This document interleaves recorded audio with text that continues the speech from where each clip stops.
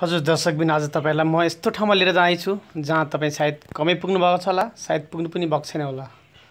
आशा गर्नेछु तपाईँहरूले आजको मेरो स्टेसन नेपालको टुरलाई मन पराइदिनु हुनेछ दर्शकबिन आउनुहोस् अगाडि बढौँ दर्शकबिन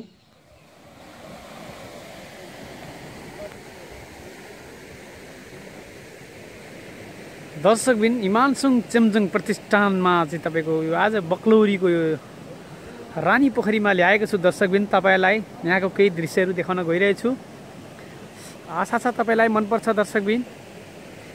पक्कै पनि इन्जोय गर्नुहुन्छ र तपाईँको लागि मैले एउटा यो ठाउँलाई प्रमोट पनि गर्न खोजिरहेको छु दर्शकबिन। भोलि तपाईँहरू यो सुनसरीको बक्लौरी भन्ने ठाउँमा आएर चाहिँ चौसठी बिगे भन्ने इलाकाको तपाईँको इमान सिंह चेम्जोङ प्रतिष्ठान कहाँ भनेर सोध्नुभयो भने तपाईँलाई जसले पनि देखाइदिन्छ दर्शकबिन। यहाँ साह्रै राम्रो ताल छ साह्रै राम्रो पोखरी छ। दर्शकबिन देखिरहनु भएछ। तालको बिचमा रुख जोडी रुख साह्रै राम्रो। ताल पनि साह्रै राम्रो ठुलो ताल छ दर्शकबिन परसम्म देखिरहनु भएछ। तपाईँलाई अझै हामी अगाडि अगाडि देखाउन गइरहेछौँ दर्शकबिन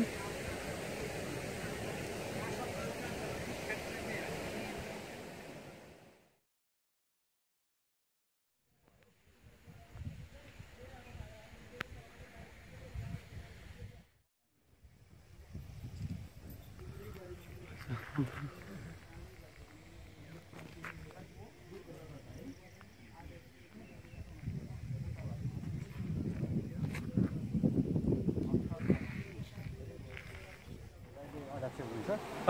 उहाँ चाहिँ गाउँको धेरै लोकप्रिय मान्छे क्या काम गर्ने मान्छे। ए। उहाँसँग नि सहकार्य गरेर उहाँले साथ दिनुभयो। अनि मेरो सपना कुराको छ तपाईँले नै उ गरेको हो सासी राईले बनाएको भन्छ न। परिकल्पना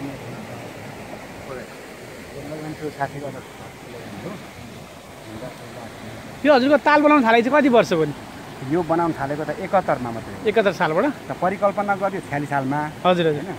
परिकल्पना मैले गरेँ छ्यालिस सालमा। मैले भन्दाखेरि पत्याउँछन् गाउँको मान्छेले हो। अनि यो अब सम्भाव्यता एकदम प्राकृतिक नेचुरली ताल बन्ने खालको यो पानी खुल्नु मात्रै बाँकी थियो। हजुर हजुर। अनि त्यसले गर्दाखेरि एकहत्तर सालमा चाहिँ योजना पालियो। दस लाख परेको कारणले चाहिँ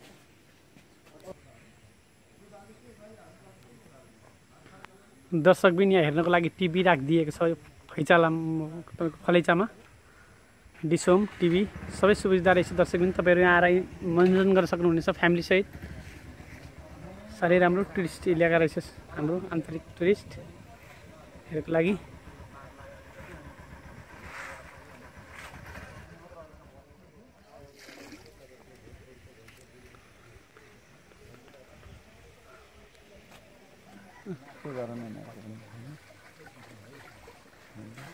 त्यो ताल ताल त ल्याएको भन्दा त यो इमान सिंह चेम्जोङ त्यसले संरक्षण समिति के भन्छ यसलाई? अध्यक्षज्यू स्मृति प्रतिष्ठानको तपाईँ अध्यक्ष हुनुहुन्छ।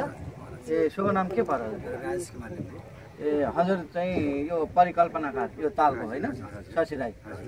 भोजपुर घर भोजपुर। ए हजुरको धनकुटा। अनि उपाध्यक्षज्यू भनिदिनुहोस् त तपाईँले यो कस्तो परिकल्पनाबाट बनेको यो ताल? यो मैले दुई हजार छ्यालिस सालको जुन के अरे दुई दुई हजार छ्यालिस सालमा गरेँ कसरी भन्नुहुन्छ भने यो ठाउँमा हिँड्दा डुल्दाखेरि त्यतिखेर यो पाखा थियो त्यो पाखामा चाहिँ तपाईँको बसेर बिसाएर यता हेर्दाखेरि यो हुनु परेको जमिन। अन्त अत्याध्य राम्रो सुन्दर जस्तो अनि पानी खोलाको यसलाई तल बाँध बाँध्दाखेरि यो आफ ताल बन्छ भन्ने मैले परिकल्पना गरेँ। अनि मैले अब एक्लै काम गर्न सक्ने होइन। यो गाउँको फेरि अध्यक्ष हुनुहुन्थ्यो राजकुमार उहाँ चाहिँ एकदम नै काम गर्ने निपुण दक्ष जनसेवा गर्ने निरन काम गर्ने दक्ष भएको हुनाले लोकप्रिय भएको हुनाले उहाँलाई मैले भन्दा भन्दा दस वर्ष पछाडि उहाँले हँ भन्नु। दस वर्ष पछाडि मात्रै स्वीकार दस वर्ष पछाडि मात्रै उहाँले स्वीकार ल न बनाउँ भन्नु। त्यसपछि हाम्रो कार्यक्रम सुरु हो मैले यसको लागि परिकल्पना गरेँ यस्तो बनाउँछु उस्तो बनाउँछु भनेर भने त्यो विषयहरू कतिपय सुन्ने सम्भवै देखेन होला मान्छेहरूले यहाँ। तर सम्भाव्य त्यो भएको हुनाले मैले कोसिस गरेँ साथ दिनुभयो। त्यस पछाडि हामी दुईजनाले लागि परेर उहाँले आर्थिक रूपमा पहल गर्नु अब हिँड्नु सङ्घ संस्थामा जानु पऱ्यो योजना माग मसँग पैसा नहुने। उहाँले के कति पैसा लाग्छ?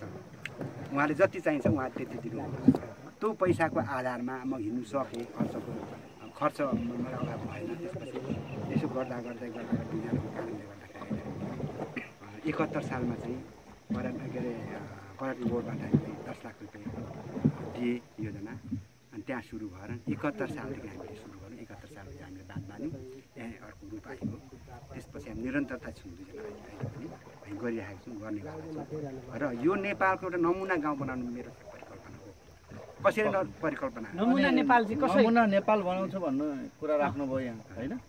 र त्यो नमुना नेपाल चाहिँ कसरी बनाउने योजना छ कसरी सम्भव छ भन्नु यहाँ नमुना नेपालको नमुना गाउँ बनाउनको लागि यहाँ मैले राष्ट्रिय संस्कृति महामेला लगाउँछु प्रत्येक सालको मङ्सिर पुग्नेको दिन। राउटे चेपाङ कोचे मेचे पूर्व पश्चिम र बिच मध्येको सबै जनजातिहरूको जात जातिहरू हो एक सौ अठाइस जात जातिहरूको चाहिँ संस्कृति एकै थलोमा हामी राख्छौँ भन्ने खालको। एकै ठाउँमा विकास गरौँ एकै ठाउँमा राखौँ र त्यसरी परिचय नेपालको एउटा नमुना गाउँको लागि। होस् हुन्छ भन्ने एउटा मेरो विश्वास छ। त्यसले गर्दा अन्य कार्यक्रमहरू पनि हामीले जम्मै यहाँ एक सौ जम्मा अठाइसवटा प्रोजेक्टहरू यहाँ मैले परिकल्पना गरेको छु। एक सौ के अरे अठाइस प्रोजेक्ट मध्येमा हामीले अहिले पूर्व एउटा ताल मात्रै बनायौँ। अब थुप्रो कार्यक्रमहरू अन्य विभिन्न सङ्घ संस्थाहरूलाई माग गरेको छु।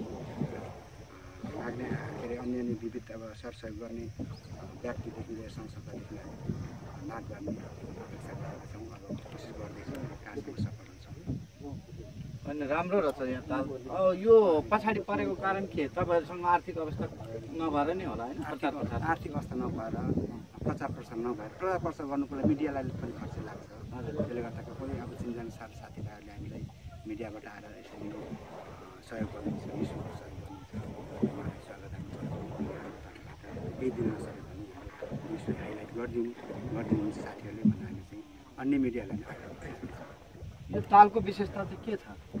विशेषता यो तालको विशेषता सिधै पानी मुहानबाट आउने मुहानबाट आउने। आउट पास पनि छ। आउट पासमा इन पास पनि छ। हजुर। होइन? इन पासबाट आउट पासबाट चाहिँ हाइड्रो मिनी हाइड्रो बनाउने र त्यो हामीले कार्य देखाइसकेको छौँ सम्भव छ। र अहिले हामी आर्थिक कार्य ए भनौँ नेपाल सरकारको आँखा राम्रो परिसकेको रहन्छ होइन? परिसकेको छैन। अब यो कुना ठाउँ पऱ्यो रिमोट एरिया पऱ्यो। त्यसले गर्दा हामी त्यही प्रचार प्रसार गर्न हामी अलिक आर्थिक रूपमा सबल छैनौँ। अर्को कुरो अब त्यस त्यस कारणले प्रचार प्रसार नगरिकन चिनिँदैन। र गाउँ पनि अलिकति रिमोट एरिया छ ठाउँ पनि। ठाउँ त्यस कारणले अनि तपाईँहरू दुईजना यो ताल बनाउन लाग्नुभएछ सफल पनि हुनुभयो। यति राम्रो ताल रहेछ आउट पास पनि छ इन पास पनि छ।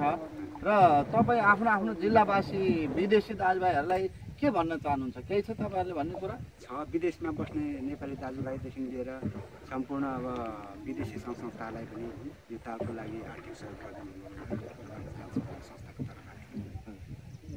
कहाँ गर्ने त उनीहरूले? केमा यिनीहरू सिन्चेन्दु प्रतिष्ठानको यो तालहरू विविध यहाँनिर अन्य कार्यक्रमहरू थुप्रो छ पर्यटन पूर्वाधार विकास गर्ने प्रोजेक्टहरू अहिले अठाइसवटा छ त्यो काम गर्ने यहाँनिर हामीलाई धेरै बजेटको आवश्यक छ र यहाँ आवश्यक पर्ने चिज हामीलाई छ अहिले भन्दाखेरि अठाइसवटामा अब हामीले हाइड्रो निकाल्ने घोडा कुदाउने चाहिँ हर्स राइड बनाउनेदेखि लिएर झुलुङ वारिपारी गर्नेदेखि लिएर एउटा सङ्ग्रहालय बनाउँदैछु जनजाति जात जातिको। त्यो सङ्ग्रहालय तपाईँको यस्तो बनाउँछु यस्तो परिक- परिकल्पना गरेको त्यो सङ्ग्रहालयमा चाहिँ हाम्रो जात जातको वेशभूषादेखि उसको शिक्षा रोजगारको जनसङ्ख्या उसको बस्नु बसाइदेखि लिएर उसको संस्कृतिसम्मको अभिलेख हामी राख्छौँ। त्यो अभिलेखसहितको सङ्ग्रहालय एउटा नमुना बन्छ। नेपालको नमुना बन्छ। त्यस्तो सङ्ग्रहालय नेपालमा छैन। जात जातको वेशभूषा छ। सारा कुरा छ तर त्यो अभिलेख छैन। त हामी त्यो बनाउन चाहन्छौँ। धन्यवाद छ यहाँलाई राम्रो कामको थालनी गर्नुभएको छ। हामी पनि तपाईँहरूलाई सकेसम्म सहयोग गर्ने पक्षमा छौँ। हेर्नुहोस् दर्शकबिन यो ताल तपाईँहरूले देखिहाल्नुभयो। धेरै राम्रो छ। र यो ताल रामधुनी रामधुनी नगरपालिका सात नम्बर वडामा पर्छ। उत्तर पर्यो। तरराबाट पश्चिम र झुम्काबाट उत्तरमा अवस्थित। यो ताल हामी त घुम्यौँ। तपाईँहरूले पनि यो ताललाई प्रचार प्रसारमा सहयोग पुर्याइदिनु हुन। इमान सिंह चेम्जुङ ट्रस्टका अध्यक्षज्यू र यो परिकल्पनाकार शशि राईलाई हाम्रो तर्फबाट धन्यवाद नमस्कार मेरो नाम चाहिँ धुरो बस्ने थियो होइन। यहाँको चाहिँ यहाँको चाहिँ जम्मेन मान्नु चाहिँ हाइट हाइट सात फिट म दुई इन्च। छु मेरो इचाइ मेरो उचाइ इचाइ भन्नुहुन्छ भने अब यहाँ मेरो उमेर भन्नुहुन्छ भने म पैँतिस सालको हो होइन?